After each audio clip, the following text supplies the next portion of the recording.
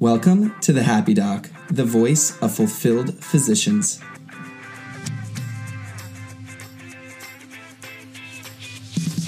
This show is about bringing inspirational, creative, successful, and happy health professionals to you. Get ready to learn how you can be a happy doctor too. What's up, everyone? And this is Taylor or Dr. Taylor Brana from the Happy Doc. I'm absolutely excited for you guys to be listening to this episode with Dr. David Hindin. Just to give you a little bit of a taste before I give some announcements, he's a fourth year surgery resident, he's a TED Talk speaker, and he has a YouTube series called Why Your Doctor Should Daydream.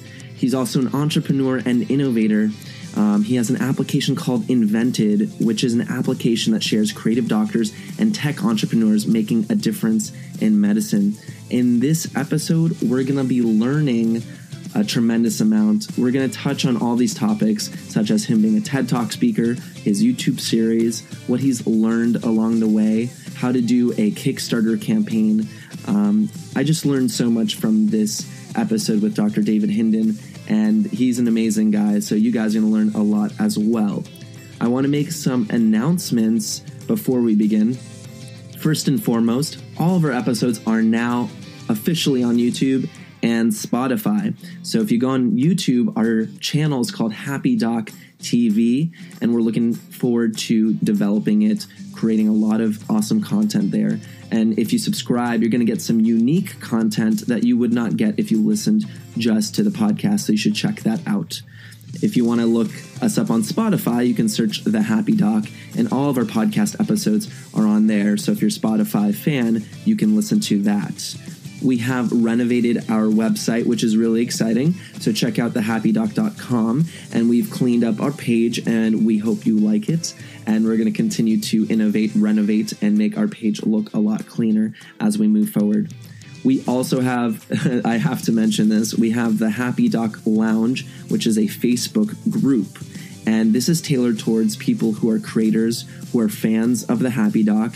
And if you want to be a part of our community, this is the way to really connect. This is an intimate space. It's a place where we can share content, we can share tips. Uh, we do Facebook Live videos on there so you can get a taste of who we are and what we're up to. And you guys can um, also connect with us and we can make uh, medical culture better within our group. So, this is a space for people to connect, collaborate, create, and change medical culture from the bottom up. And you should definitely be a part of that. So, go on Facebook and search the Happy Doc Lounge, and you can come check us out and join us. So, before we begin this episode, my ask for you this week is to tag us and a friend. So, if you enjoy this content, I mean, we come back week after week and we bring you inspirational guests, interesting guests and we want to change medical culture, and we need you to help us. So tag us and a friend from medical school, from work, or a person you feel would be interested, and uh, share us on on Facebook, on Twitter, on Instagram. Share us in a group page that you enjoy and you think would love us. We want to share our awesome examples with the world, and we can only do that with your help. So join us on our mission to change medical culture. Let's make medicine happier. Let's make medicine more fulfilled. And we can only do that with your help. Join us on our movement. With that being said, again, thank you so much for listening. You're going to enjoy this episode with Dr. David Hindin, and you're going to get a lot out of it. I know I did for sure. You can find David Hindin at www.youtube.com slash David Hindin. That's David Hindin at the end of youtube.com, D A V I D H I N D I N. Without further ado, let's listen to this awesome guest. Hello, everybody. This is Dr. Taylor Brana, and this is another episode of the Happy Doc. I'm super excited and pumped to have our next guest, Dr. David Hindin. He is a general surgery resident in his fourth year. He also has an amazing YouTube series, and he will discuss that. It's called Why Doctors Should Daydream. And we're going to talk about that. We're also going to discuss a lot more in the realms of creativity, I'm really excited for this. So, Dr. David Hindin, can you introduce yourself? Sure. Uh, my name is David Hindin, and uh, thank you so much for having me. Awesome. Awesome. I'm, I'm a I'm a fourth year surgery resident, like you're saying at Temple, um, and I run a YouTube channel with this with the same name. And uh, I have a I have a digital magazine called Invented Magazine that kind of I'm sure we'll talk about this, but highlights up and coming innovation in medicine and kind of creative entrepreneurship in the medical tech world. Beautiful. And, you know, I'm really excited to have this conversation to start us off because I don't think there's enough talk about creativity, innovation, entrepreneurship, building in medicine. Would you agree? I totally agree. And and we're going to touch on that for sure. So to begin, um, you went into surgery for a reason, but let's start a little bit further back. Why'd you go into medical school?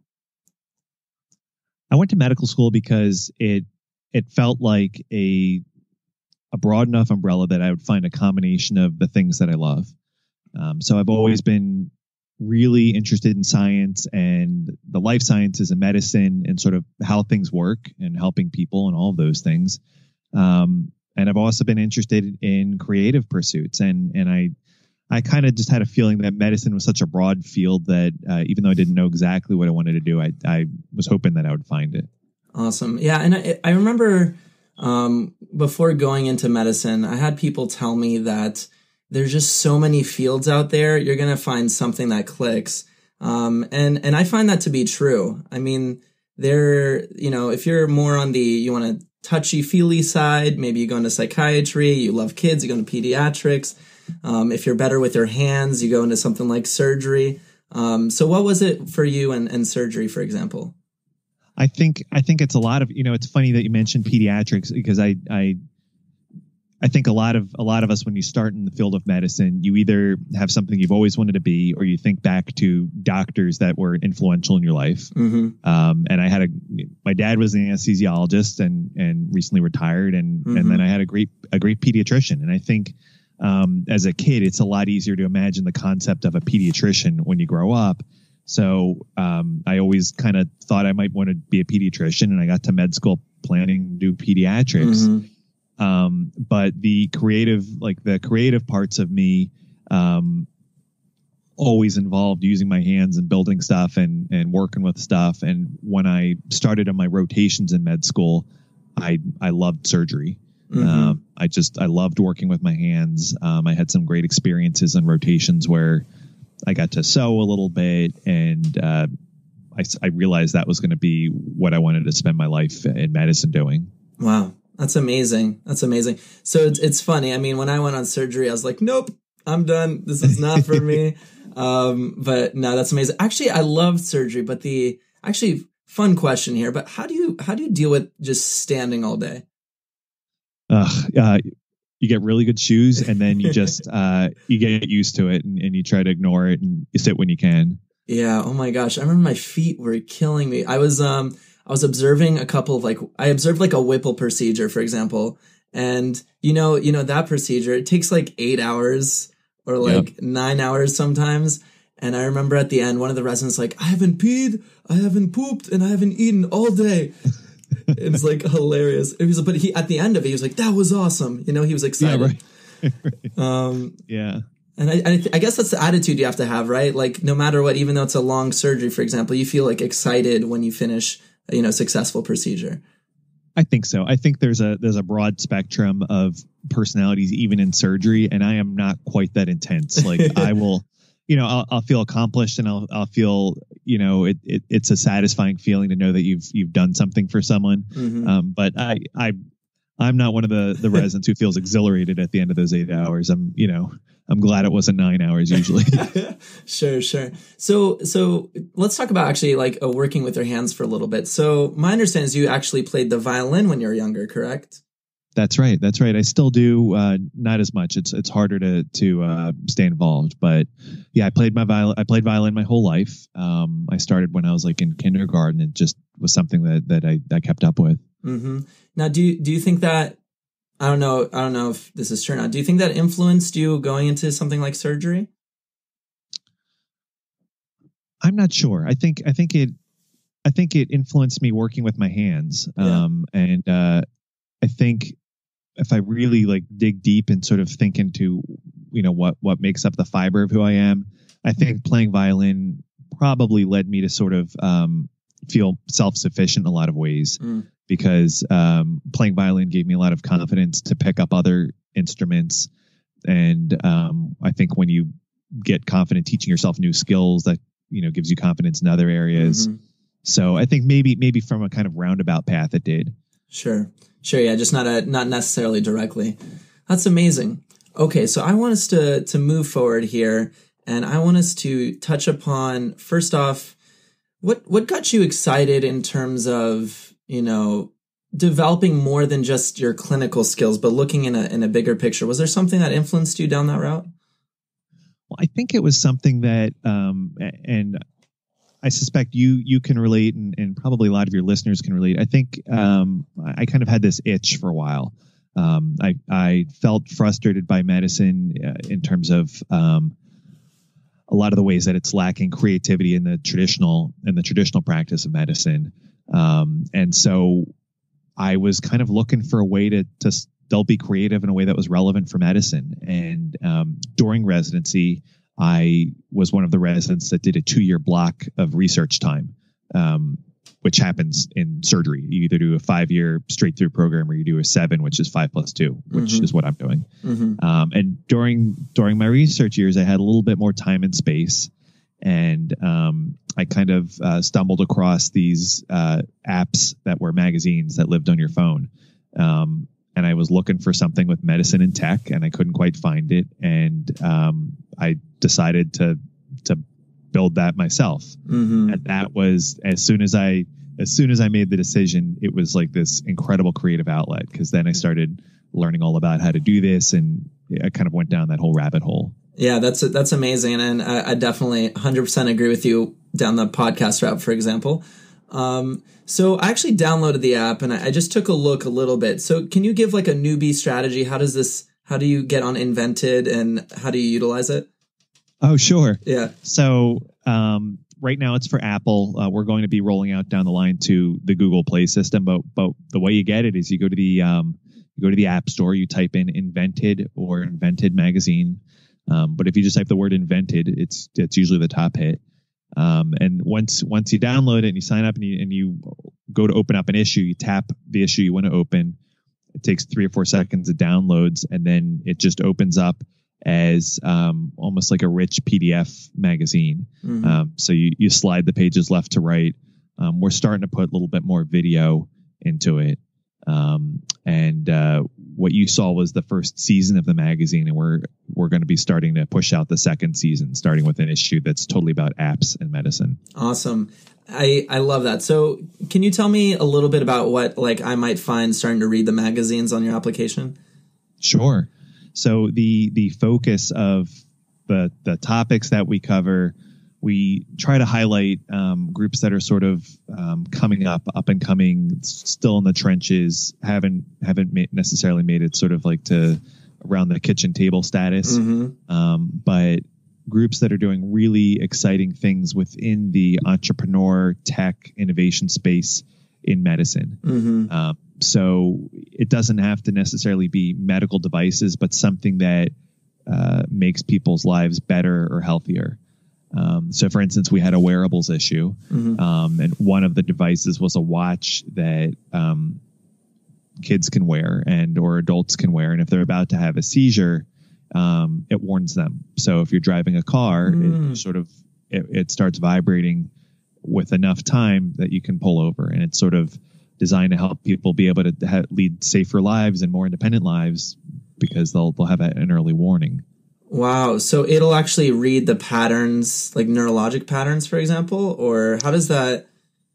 I believe that particular device functions from heart rate variability. Huh, So, that's so interesting. um, if you look at the, uh, it's a long way away, but when when I think back to physics, you have like um, your your velocity, and then you have like acceleration is like the change in velocity, Mhm. and then I think like jerk was the change in acceleration. Mm. So it, it's kind of like it, if if you have a beat to beat variability, um, it it's able to look at differences in the rates of your heart rate changing from one rate to another. Wow. Um, that's at least that's a that's my simplified understanding of, Sure. of how they're developing that tech. No, that's that's phenomenal, and and so it, it's interesting, you know, thinking about you know on your end, you're focusing on all these like up and coming innovation devices, but then, uh, and we kind of discussed ab- about this before, but you know, we talk about medicine and medical school and everything, the whole process, and it can be very stifling to creativity, stifling to innovation. What are your thoughts on these new devices coming in and, and how is it actually going to be implemented, you know, on a grander scale? I don't know. I'm just spit, spitballing here, but I think it's an interesting concept. When you when you are uh, thinking of new devices, do you mean like what I mentioned, or in, in like medical surgical world stuff in general? Well, okay, I guess I guess we do have to. So yeah, with the wearables, for example, that's you know that's you know normal civilians, non-medical people, but then um, yeah. So let's touch on that first. I guess wearables would be pretty easy to start to implement. Um, I Yeah. think so. I think it's it's uh, it, it's like it's this incredible, exciting time because we have this accessible technology is so much more accessible to the layperson now than it was a couple of years ago. Definitely more than it was a decade ago. So people are kind of being playful. Uh, like inventors and creators are sort of developing things and seeing what happens and getting into the hands of users. mhm. Um, so like I think I keep thinking of in the back of my head the Apple Watch and like the health kit, and there is so much potential that they are sort of working in the background, um, and are just we're just starting to see the tip of the iceberg. yeah. Um, yeah. So, um, you know, talking about wearables, for example, there's so much data now, right? Like we can Yes. track so much data. Can you comment? Like, I, I'm sure you you're aware, but can you comment comment on some of the exciting things that are coming in terms of what we can do with that data?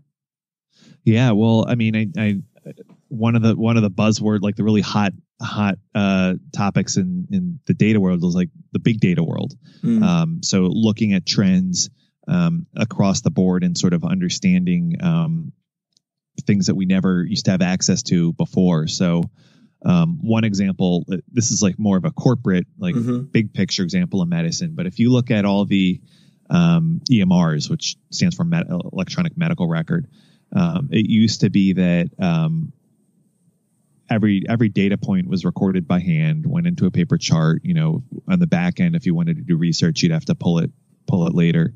Um, but now you have patients who, let's say, they're on a monitor that's um, wireless. That data is being captured and streamed into a chart, and suddenly, with with a couple clicks, when you set up everything, you know, to to to pull data later, you can make a couple clicks and literally see every single heartbeat someone's had in the hospital, for instance, over the past month, and exactly when they got you know different interventions and Mm. having having access to data that that's that deep is it's kind of cumbersome like it's hard to deal with but um, once you are able to wrap your hands around that effectively um, it's it's unlocking all kinds of uh, information that I believe are going to really help us uh, develop new tech and make impacts. Yeah, I'm I'm even thinking just like on the the personalized level, like like you talked about intervention on that individual and how that Sure. impacted their heart rate. Now you know what interventions might do one thing versus another, and you know you know one medication does not act the same on one person as it does on another person. Um, Right. So that's you know that's a really powerful, really powerful tool. I would I would love for us to touch on your TED talk. Um, I took a listen Sure. to it. It was fantastic. I loved it.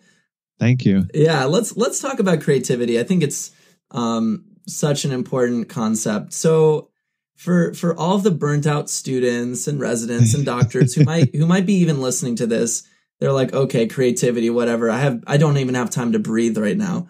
Um, you know, I know I know I'm sure you felt that way too. So so let's let's talk about it. How do we how do we get into the more creative mindset and how can that impact us on a on a daily on a daily basis as a doctor? I think that one way to do it is to, frankly, one way to do it is to recognize that it matters and that it's important, and to feel that you're you're not doing something that's totally invalid. Um, little little life hacks or you know small ways that you can do it or when you have downtime um, in the shower or driving um, sometimes just letting your mind wander um, and it, it depends it's different for everyone. It depends what someone's excited about. Um, but for me uh, one way that that you know I get to be creative is, um, you know, I'll think of ideas for videos or something, or I have, um, I, I love Evernote, the the app. Sure. Um, and so I have a I have a, a, sheet open, different categories, but for every time I have an idea for something, I just jot it down there. Mm-hmm. Um, but I think the the best way for someone to keep that spark alive is to allow themselves to nurture being creative and to make time for it and treat it like like a skill or like a muscle and mm-hmm. and set aside set aside space in their in their world to sort of connect with things that they enjoy whether it's you know artistic stuff or any kind of self-expression. Sure sure. And and and so you touched on it you know for someone to be to want to be creative they they have to see a purpose in it. And you know you touched on that in in the in your ted talk uh, speech for example um, in in the form of the creation of like the modern EKG, right? So yes, yeah, yeah. So so why why why is creativity so important in medicine? I know I know you could talk about this for a while, but like just like a brief. Yeah. Well, you know, I think so. Creativity to me in medicine is absolutely. It's not like it's not like a, an extra extra cush that it's absolutely essential because the way we practice medicine now and as we get more focused on outcomes and data and like exactly what works and what doesn't is more and more and more regimented uh, which makes sense. You don't want someone trying out something for the first time in the operating room or or trying out something just because they have a hunch you know when you're treating a disease process that we have data and we know what works best. But if you don't keep that spark for creativity alive it's going to stagnate the the ability to, to make progress in medicine and develop new technology and innovations. And so the reason that you that you keep creativity alive and, and the benefit is that it lets you make new connections and realize, you know, new ways of doing things and lets you communicate with other with other branches of medicine by collaborating. Mm-hmm. Yeah, for sure. And I think the difficulty there, and, and we actually touched on this um, in other episodes of our podcast, but doctors generally have like just stayed in these silos. You know, they're, yes. Uh, for example, you know, the, or, or even like bad mouthing different, different uh, specialties. For example, uh, you know, this stereotypical ortho surgeon is the one who's bench pressing and they're, they're the jocks. I mean, I guess sur- surgeons in general are, are the jocks, right? Um, mm-hmm. and they're mean and they're aggressive and this and that. And then actually, I think that takes away from the from being able just to connect with people and talk about a case, for example. Yeah, I, I agree with you. You know, I think it's funny. I think some of those stereotypes are true. Um, sometimes, you know, certainly um, by and large, folks who go into surgery and you know interventional specialties are probably going to have a different personality type than folks who go into areas of medicine where they never see a patient face to face, for instance, or where, right. where they never leave a laboratory.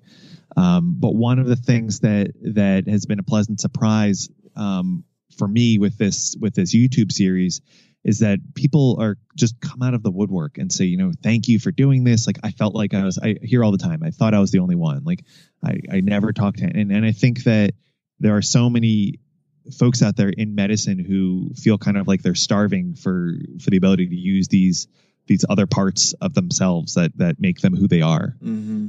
I'm not sure if that answers uh, what you were asking or not. I, you know, it's it's funny. I can't 100 percent remember what I was asking. oh, good. But I, but I love that answer. No, it was great. So you you made me think of something. So you mentioned your YouTube series, um, and I, I want us to to touch on that. Um, I, I watched the some of the episodes, by the way. Um, oh, thanks. It was it was funny. You uh, you mentioned in your vlog you made a complete mistake and messed up recording with the uh, the camera. Um, That's right. it was funny. Um, so so let's talk about biodesign. I actually really love that topic. You went over to Stanford. Um, and you guys talked about biodesign. I had no idea what that what that was until I saw that episode. Um, and the one thing I'm going to mention too is what I love about what you're doing is you're introducing concepts of creativity that people probably have never heard before, such as myself. I didn't know what bio design was. I'm still trying to understand it a little bit. Can you talk about, for example, what that was in that episode? Sure, sure, and I, and I'll say before this, um, it's it's kind of satisfying a selfish need too because these are all things that I kind of wanted to learn more about, and it's a great excuse for me to yeah yeah talk to people that I'd want to talk to, and so uh, to answer your question about biodesign, um, the, the way that I think of it, at, at least w- what I learned while I was there and what I've learned so far, is um, it's a process that uh, was developed to um, and really highlighted out at Stanford to have a system for innovation and for creating innovation. Um, over there, it's it's specific in the medical world, but it could be applied elsewhere, um, mm-hmm. and it's mm-hmm. kind of borrowed from the process of design thinking. Um, and so, to break down what that is and what it looks like is um, it's a it's a way of um, I think of it uh, from the beginning as as as uh, a way of being open minded. So, for instance, um, you don't say, "Here's an invention. It's a great idea that I have. You know, I'm sure it's going to work." Instead, the way that the biodesign process works is you start at the beginning by looking at, um, for instance, for lack of a better expression, like an area in medicine that you want to serve. Okay. Um, or and and what you do is you go and you sort of uh, put yourself at ground level, sort of observing what's happening around you, um, and uh, they call it needs finding. You look to see where there are um, gaps, for instance, in um, you know problems that that patients keep experiencing or mm-hmm. um, struggles that clinicians have or w- what what entrepreneurs sometimes call pain points mm-hmm. um, and you develop um, a list uh, a very very long list of all these different of all these different needs um, and and and this is the beginning of their process and then as the process moves on they they stratify the most important needs the most pressing needs um, you look at things like you know what what might have the biggest impact if this is something that affects thousands and thousands of patients mm. um, versus this is something that only comes up once every couple years um, you might be inclined to target target the uh, the need that that it has a bigger impact in the beginning. Um, and then as they move down the line, they start um, putting together possible solutions, um, possible ideas and, ways to approach this. Um, and they're they're constantly thinning down the process until they get to sort of the end of the funnel where they've refined and refined and refined, and they have this um, this device or product or prototype, mm-hmm. something that has been designed from the beginning to target a really important need. It's been designed with empathy, um, looking at at at what the what the user really needs, or what the customer needs, or or the patient, or whoever whoever your your end user is going to be. Um, and it's it's it's incredible. It's this amazing process, and w- when you go through this, and you're sort of like a slave to the process and, and you just follow through the system um, and you are on teams where people listen to each other and collaborate um, they really develop just incredible things I, I, I love that concept and i'm trying to summarize it in my mind but basically it's you're you're it's almost like this big brainstorm list all the problems or all the pain points of the patients and then from there so and that takes a long time right so it's a lot of thinking going into that. And then from there, you find the common points that can affect, impact lots of people. Um, and then you focus on how you're going to actually fix that problem with, like you said, like a design or an invention, correct? Mm-hmm. That's my understanding. I mean, that's with the caveat that, that I'm an observer and yeah. I've, I've uh, learned about what they're doing just a very little bit, but that that was kind of uh, one of the big the big concepts that I took away from from uh, their process. Great, no, and I, and I love that, and I and I think I think concepts concepts like that, you know, we're not. This is another whole point in in in why we're even recording this conversation, discussing this, is we're we're missing these lessons, right? There's no there's no talk about design, creativity, innovation in medical school um, and, and it's, it's so powerful to have someone like you and your YouTube series, for example, to, to show us, to go out and explore those concepts. You're going to be inspiring lots of people who, who end up tuning in and who have that creative energy in them in the space of medicine. That's, that's incredible. Uh, I would love to do that. Yeah, I mean, I mean, you're doing. I mean, I'm I'm inspired Oh, by thank it personally. um, no, that's great. Um, so so how many episodes have you recorded um, until this point? I know I know I saw like two online so far. Um, There, there are two online. I'm, I'm in the process of uh, gearing up for a third one right now. awesome. Um, So so what are some of the new innovations or projects you're looking forward to uh, exploring more of? Well, on on on the the series. Yeah, yeah, on the series, for example. Well, one of the next areas that that I'm going to start digging into a little bit is um, the softer skills, for, so to speak, or Okay. the humanities in medicine, because um, there are so many benefits to learning how to appreciate art and learning how to be creative and learning how to sort of listen to your own inner voice. And um, some of the ways that we're seeing this are um, classes in different med schools where students actually look at a painting and they Mm, they um, sort of work through the process of understanding understanding things that are going on. Um, and that that can do things like sharpening your observation skills i think making you uh, more more empathetic.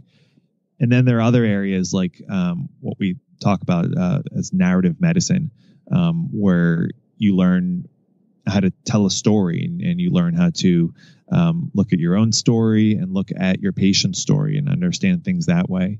And you know on the surface i think um, people who are skeptical might say well that's kind of that's just fluff. That but but the truth is it, it makes you a better doctor.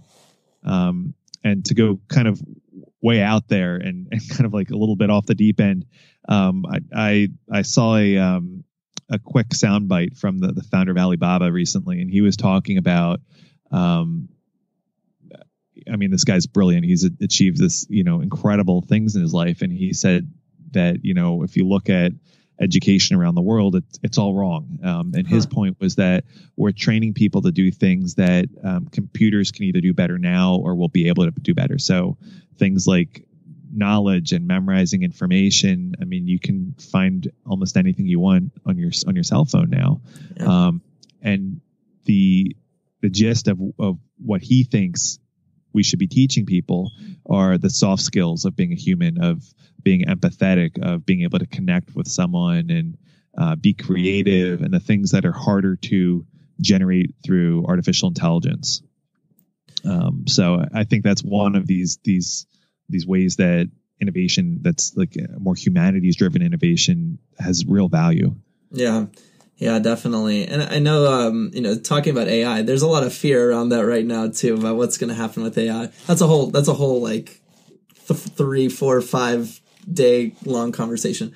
But um, I, I wanted to touch on something you said, um, talking about like uh, getting more in touch with your story and the patient's story. Actually, I really love that point. Um, and I think this is something that we don't talk a lot, a lot about.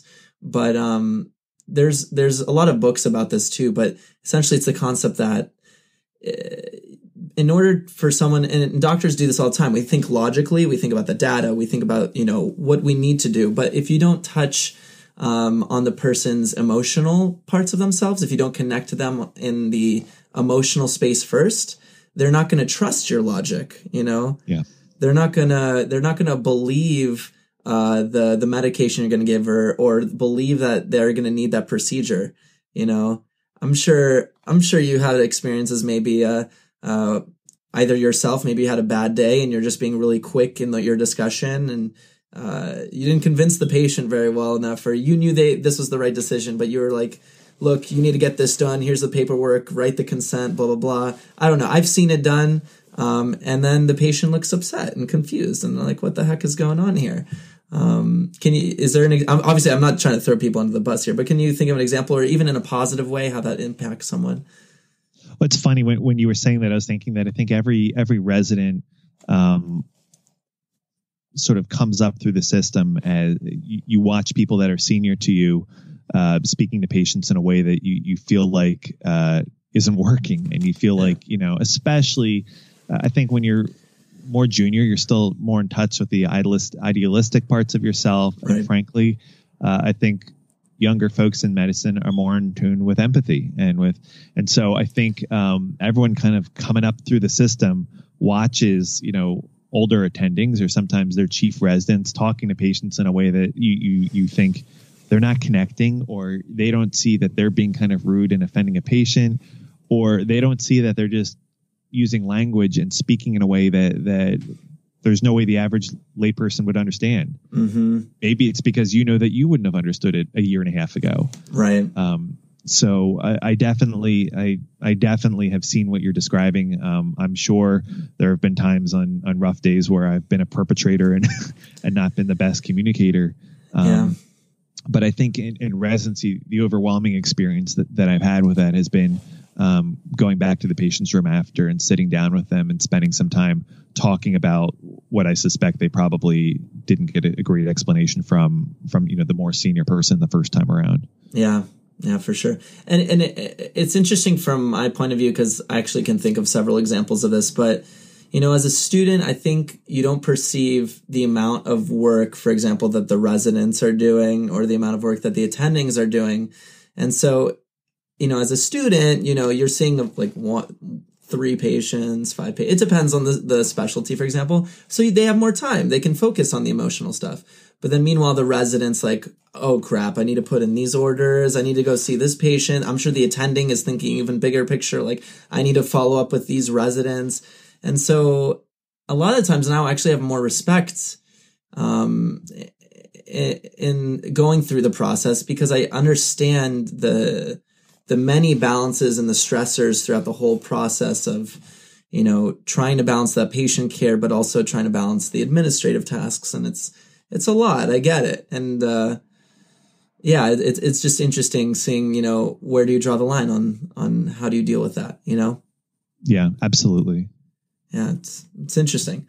So so dr david hindin i i appreciate your time today. Um one thing I'm really looking forward to understanding is you're developing, you know, this process of looking at, you know, the YouTube series. I know you developed your app, Invented. Um, are you looking to create anything else in the near future? Right now, my biggest focus is the the YouTube series and keeping the app alive. Um, down the line, um, I'm not sure where things are going to go. Um, I'm definitely going to keep both of those two um, pursuits going. Um, but I, I'm going to see where everything else takes me.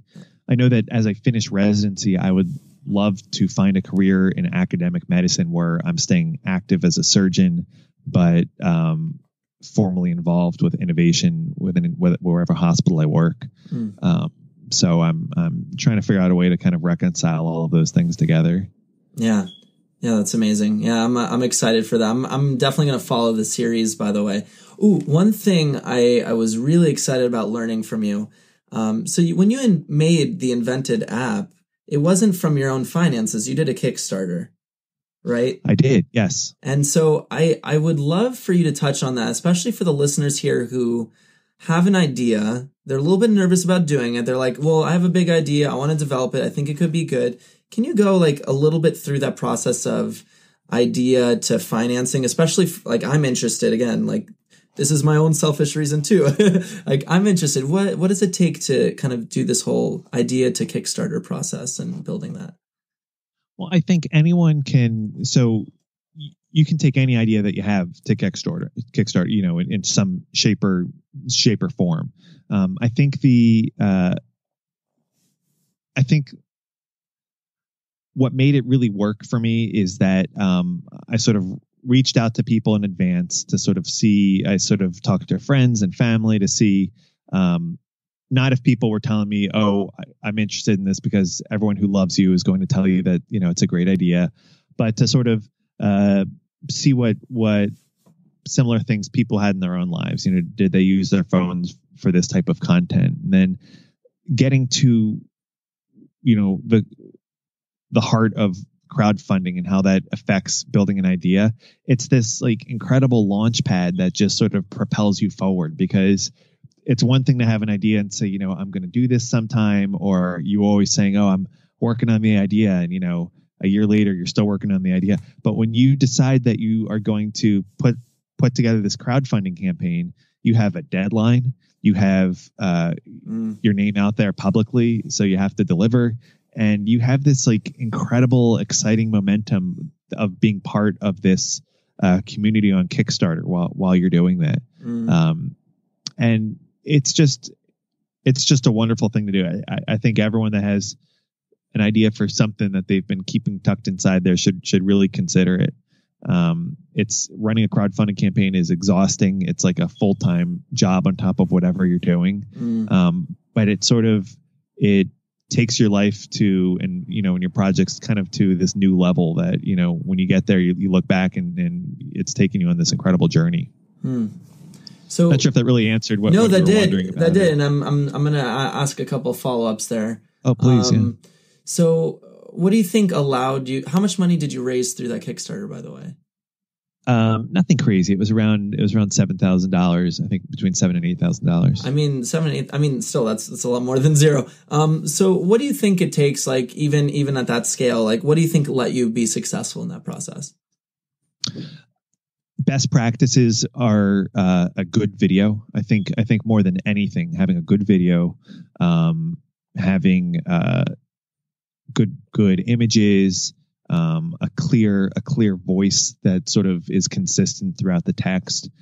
Um, and then there's there's a bunch of other strategy stuff. Um, oh, and one other thing, I always tell people um, don't look at it and don't talk about it in terms of donation you're not telling someone donate to this project or you shouldn't tell it's more a part of asking people to join you on this movement that you know whatever whatever someone is doing on kickstarter when you look at the most successful campaigns even if it's for a mug or like a, pro- a product it's still like join us as we create this thing join it it's always about this movement um, but in terms of like uh, ways to ensure your success and put yourself in the best standing, having a video that really catches people, um, having good audio on that video.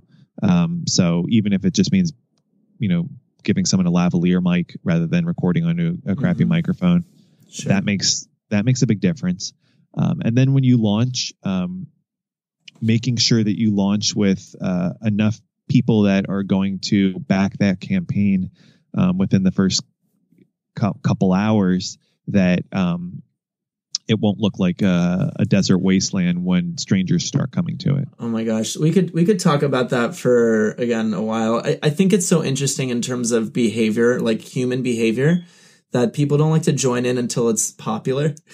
Oh yeah. Well, I mean, I've I've I've in my sort of entrepreneur world, I, I'm I've always been involved in copywriting and sales copy, and and you know the the cues that sort of persuade someone to to click a button to scroll down a page, and and there is so much of that. Um, and the dynamics that go into to uh, crowdfunding, from the social proof to Mhm. the fear of missing out to just there's so much of, what- of what you just uh, pointed out. Yeah, it's just so interesting. So like for example, on the on the very easy simple scale, you make a Facebook post. I've seen like beautiful poems and well-written things on Facebook. If but if no one likes it, everyone's like nervous to be the first or the second or the third. But I've seen like quote lesser quality things on social media, for example, that get spread around all the time.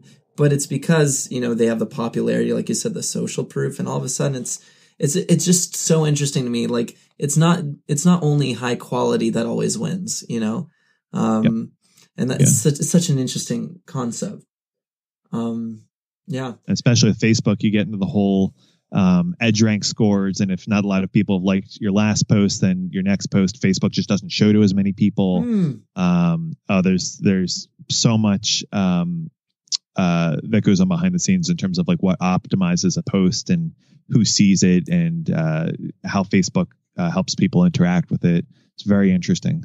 Yeah i mean that could i mean i had a, i definitely want to look into that actually i didn't know that was part of the algorithm for example Oh yeah, yeah. Happy happy to chat with you about what little I know about that sometime. Yeah, for sure. That's no, I mean, th- this is a whole other thing about what we're learning here is um, what we've been calling the hidden curriculum. It's it's the some of the parts you need to be.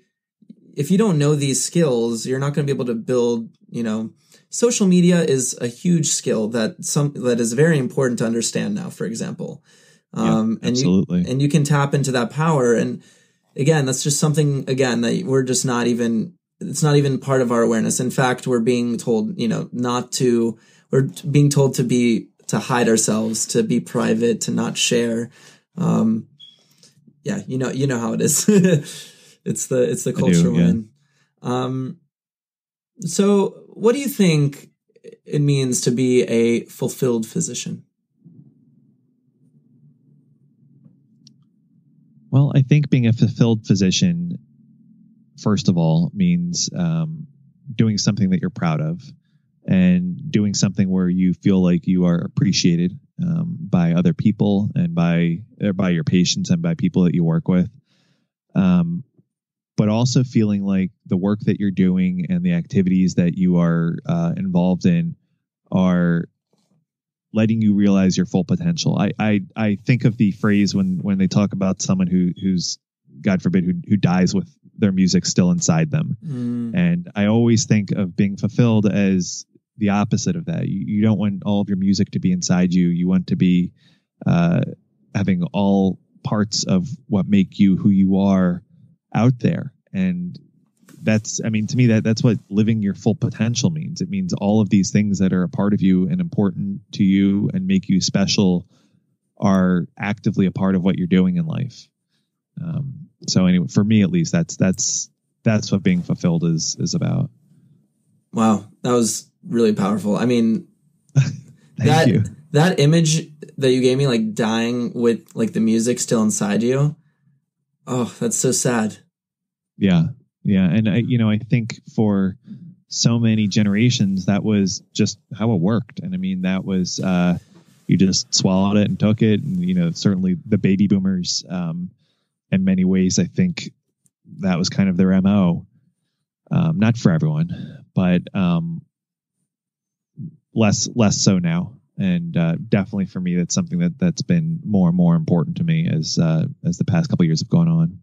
Yeah, and and I have to say, in the time of 2018, especially if you're able to listen to this podcast, for example, you are in such a privileged position on this planet to be able to be on your device or on a laptop listening to a conversation. And I mean, there's there's you have full opportunity to let that music, you know, outside of you and to share that with the world. Um, Yeah, absolutely. Yeah, no, that's a that's a very powerful image, though. That, yeah, no, that was very well said. What are what are tips you would like for the listeners to take away from from your journey so far? I think the I'm not sure if this counts as tips or advice, but I think the uh, the big takeaway that I keep seeing in all sorts of different forms is letting yourself nurture the things that uh, you feel are special about you, um, and making room in your life. Um, it's different for everyone. I mean, I I had a friend um, a couple years ago in residency who um, she told me a couple times she always kind of wanted to be a designer. Um, and I'm not sure, you know, w- what's happened with with her in terms of her creative stuff. Um, you know, we haven't kept in touch, but I always think of, uh, you know, beneath the surface with everyone, there's this little part of you that remembers what you used to do. You know, Hmm. joke about, you know, what we did when we had life before medicine, but but it really doesn't have to be that way. So whether it's a tip or advice, I think um, we all have parts of us that are special and we we we know are special about us that uh, we haven't paid as much attention to maybe. Um, and I think uh, making making room in your life to reconnect with them and sort of keep those things going are it's important for us and frankly it's important for our patients makes us just better better doctors anyway I was I was giving a little hand clap there. Yeah, I uh, I love what you said. That that was amazing. Um, I I can see why uh, you were up on stage uh, speaking at a TED talk. That's like thank you no, I, I like I really like that. Um, yeah, that's great tips. So again, I I have to say I thank you so much for your time today. Um, more oh, and this has been so much fun more and more I learn that time is such a precious commodity and even just to you know virtually connect how we are uh, right now it's uh, it's truly amazing that we can do this um, and I really appreciate your time today Dr. David Hindin um, I'm going to provide the um, the links for the YouTube channel. I'll provide the links for the the application as well. I want you guys to check it out. I I watched the episodes they had. I checked out the application. Um, and guys, this is a really amazing stuff, and it's a building journey. Um, and so we're all learning with David Hindin, um, and I'm excited for the process. Well, thank you so much for having me. This has been awesome. Uh, thank you. All right, take care. All right, take care. Thank you so much for listening to the Happy Doc podcast, the voice of fulfilled physicians. If you enjoyed the episode, please drop us a like, comment, and share. Share us through the social media channels we have on Facebook, Twitter, and Instagram. The handle is at Happy Doc Podcast. That's at Happy Doc Podcast. You can find our website at www.thehappydoc.com. Again, thank you so much for listening to the Happy Doc, the voice of fulfilled physicians.